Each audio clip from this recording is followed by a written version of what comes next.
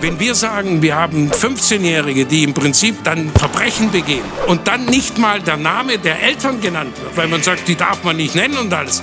Ja, ich frage mich, wenn ich sage, ich habe einen Hund und der beißt einen, da bin ich verantwortlich. Wenn ich ein Kind habe, das im Prinzip von mir fälschlicherweise falsch erzogen ist, dann gibt es keine Verantwortung, nichts.